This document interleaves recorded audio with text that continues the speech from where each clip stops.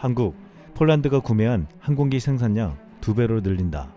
한국항공우주산업 FA50 파이팅 이글 생산 능력 2배 늘린다. 우크라이나 언론들이 일제히 한국의 FA50 생산량을 2배로 늘린다는 기사를 집중 보도하고 있습니다.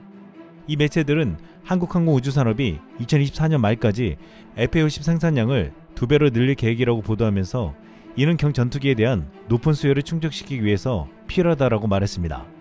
특히 이 매체들은 FA50은 경쟁력 있는 가격과 빠른 납기로 많은 신규 고객들이 찾고 있다고 말했습니다.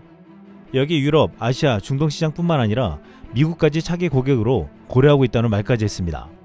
최근 우크라이나 젤렌스키 대통령은 서방이 러시아군을 격퇴하기 위해서 더 많은 전투기를 달라고 하고 있는데 한국의 FA50 생산량을 늘린다는 소식에 우크라이나가 환호하고 있습니다. 폴란드와 슬로바키아 등 동유럽 국가들이 구소련 시대 전투기인 미그 29기를 보냈는데 폴란드는 FA50에 오면 남은 구형 전투기를 다 보낸다고 말한 바 있기 때문입니다. 또한 지금 폴란드를 시작으로 많은 동유럽 국가들과 전 세계 국가들이 FA50 도입을 검토하고 있기에 FA50의 생산량 증가는 우크라이나에게 가장 큰 소식이 되고 있다고 했습니다. 우크라이나 전쟁 발발 직후 러시아산 전투기를 퇴출시키고 있는 동유럽 국가들은 어쩔 수 없는 공군 전력 공백에 놓여져 있습니다. 지금 이들은 폴란드가 미국산 F-16, F-35와 한국산 FA-50을 함께 운용하는 것을 보면서 폴란드의 사례를 보고 한국산 전투기 도입을 진지하게 검토하고 있는 것으로 알려지고 있습니다. 그런데 이 시점에서 국내에서 놀라운 소식이 전해졌습니다. LIG 넥스원이 지난 1 FA50에 적용할 수 있는 A사 레이더를 개발했다고 발표한 것입니다. 이미 KF-21용 A사 레이더는 개발되었으나 이를 경정투기 FA50용으로도 개발해 냈다는 것으로 LIG 렉스원은 2023 공군 민군협력 세미나 전시회에서 FA50 A사 레이더 프로토타입을 전격 공개했습니다. 알려진 바와 같이 A사 레이더는 기계식 레이더를 적용한 전투기 대비 3, 4배 전투력을 보유하는데 그동안 소수의 해외 선진 방산업체가 독점해왔기에 한국은 이를 단 전투기를 판매할 때 높은 비용을 지불해야만 했습니다. 하지만 이제 FA50 A사 레이더도 국산화에 성공하면서 앞으로 우리 군의 전력 증강은 물론 수출 경쟁력도 확보했다고 했습니다. 또한 지난해 말 한국전자통신연구원은 A사 레이더에 들어가는 핵심 반도체 부품의 국산화에 성공했는데 한국은 미션을 이뤄내듯 A사 레이더의 기술과 부품 모두 엄청난 속도로 개발해냈습니다. 이렇게 빠르게 국산화를 이뤄낸 것은 경제적으로도 큰 의미를 지니고 있다고 했습니다. 한국은 지금 미국에도 FA50 500대 수출을 추진하고 있기에 FA50에 한국산 AESA 레이더를 장착한다는 것은 앞으로 거액의 로열티를 지불하지 않아도 된다는 말이었습니다. KAI는 지난해 폴란드에 FA50 48대와 올해 초 말레이시아에 18대 수출 계약에 성공하며 K방산 수출을 주도하고 있는데 최근에는 록히드 마틴과 컨소시엄을 구성해 미 공군과 해군의 훈련기 및 전술 입문기 최대 500대 규모의 미국 사업 참여를 준비하고 있습니다. 한국은 훈련기 최고의 스펙을 갖추었다는 T50 시리즈를 가지고 있지만 그동안 러시아와 이탈리아가 개발한 M346의 가격에 밀려 고전해왔습니다. M346은 UAE, 싱가포르, 이스라엘, 폴란드 고등훈련기 도입 시장에서 한국산 T50을 눌렀습니다. 이 때문에 T50의 최대 적수라고 불렸는데 하지만 최근에는 상황이 전혀 달라졌습니다.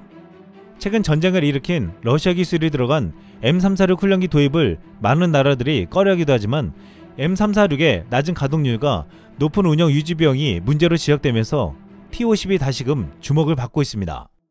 특히 M346을 운영하는 폴란드 국방부 장관은 이러한 점을 지적하며 왜 한국산을 자신들이 선택했는지를 설득력 있게 말했습니다. 그런데 FA50, T50은 미국의 거대한 사업 수주에서도 고배를 마신 바 있습니다.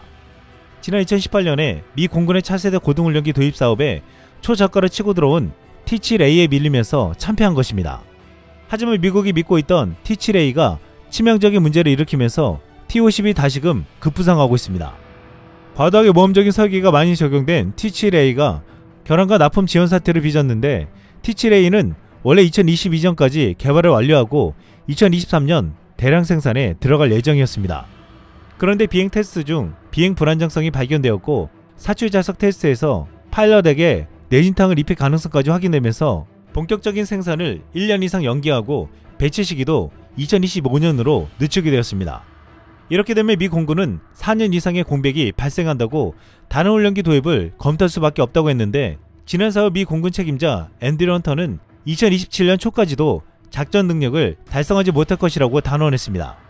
미 공군은 2023년 해계연도 예산 요청에 T7A 생산 기금을 모두 삭제했는데 이에 지금 FA50에 수출할 수 있는 절호의 기회라고 보고 있습니다. FA50 생산량을 두 배로 늘린다는 것은 우크라이나에서도 주목해서 보지만 시급하게 훈련기를 도입해야 하는 미국의 입장에서도 눈여겨볼 수밖에 없는 뉴스였습니다. 만약 FA50이 미국 시장에 진출하면 해외 고등훈련기 및 경전투기 시장에서 50% 이상 최대 1300대 규모의 시장 확대가 예상되는데 이는 최대 340조 원 규모의 산업경제 파급 효과를 창출할 것으로 평가되고 있습니다. 이런 건데 최근 카이는 KF-21용 다목적 소형 무인기를 최초로 공개했습니다. 다목적 소형 무인기는 전장 3m, 폭 3m에 150kg 정도의 중량을 가진 소형 제트 무인기로 쌍발 터보제트 엔진을 장착하여 보람의 전투기와 같이 편대 비행이 가능한 수준의 기동성을 갖추어 90분 이상 작전이 가능합니다. 다목적 소형 무인기는 미국이 개발 중인 XQ-58A 발키리 무인 편대기보다 약 40% 적은 크기로 내부 무장창에 무기를 장착할 수는 없지만 소형 레이더나 전자장비를 탑재하여 정찰, 전파 방해 및 소모성 자폭 공격이 가능한 위력을 지니고 있습니다. 카이의 새로운 제안은 로열 6면을 다시 세분화해서 매우 작고 훨씬 가격이 저렴한 다목적 소형 무인기와 전투기급 무장 탑재가 가능한 무인 전투기를 구별하여 KF-21 보라매와 합동작전을 벌일 계획을 세우고 있습니다. 한국은 이렇게 KF-21을 개발하면서 체계적인 무기 탑재와 편대 비행 무인기까지 빠르게 내놓으며 치밀한 수출 전략을 짜고 있습니다. 한국산 전투기가 이렇게 전세계 주목을 받는 가운데 한때 KF-21의 파트너로 고려되었던 튀르키예에서 최근에 열린 공군 에어쇼가 주목을 받았습니다. 여기에는 KF-21의 경진자라고 자부하는 튀르키예 차세대 전투기 TFX가 공개되었습니다. 마치 KF-21에 대항하는 TFX가 이렇게 개발이 잘 되고 있다고 자국은 물론 전 세계에 홍보하는 듯 보였습니다. 이 가게에서는 분명 KF-21의 빠른 개발 속도와 연이은 시험 성공을 의식한 듯하다고 보기도 했습니다. 하지만 이날 공개된 TFX는 시댁이라고 하지만 아직 날 수 없는 검모 형색만 갖춘 깡통에 불과하다는 말을 들었습니다. 실제로 지상 활주만 마친 모형에 불과했습니다. KF-21에 공동으로 참여하지만 분담금을 내지 않는 인도네시아는 프라보 국방장관이 트르키의 차세대 전투기 사업에 참여하고 싶다고 말하기도 했는데 최근 국내에서는 인도네시아와 트르키예와 붙여주고 한국은 폴란드와 개발하자는 말까지 나오고 있습니다. 트르키예는 자국 기술로 5세대 전투기를 만든다고 큰소리쳤지만 전 세계 대부분의 전문가들은 수준 낮은 기술력을 갖춘 트르키예가 결코 할 수 없을 것이라고 단언하고 있습니다. 실제로 트르키예는 한국과 비교했을 때 15에서 20년이 뒤쳐져 있다고 했는데 한국 T-50 정도 수준의 경전투기를 개발하고 있는 것도 아직 시제기 초도 비행도 하지 못했다고 했습니다.